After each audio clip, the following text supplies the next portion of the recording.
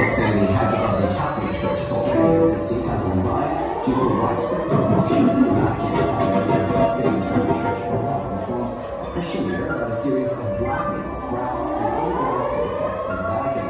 Army sources have revealed that few crimes, including a former head of the Vatican Secret Service, were among the suspects in allegations of fraud. Corruption in the Catholic Church was exposed after the so-called Vatican